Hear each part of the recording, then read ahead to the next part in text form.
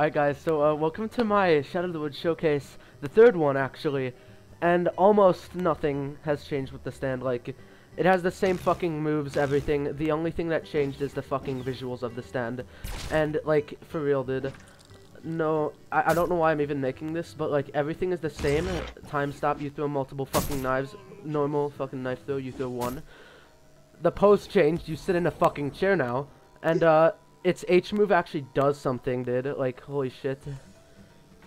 That pose is so gay! Fucking bitch. Uh, yeah, anyway, that's literally all that changed with the stand. Like, no fucking joke. I actually hate this stand. I just gonna give it to my friend, dude. Fuck this game.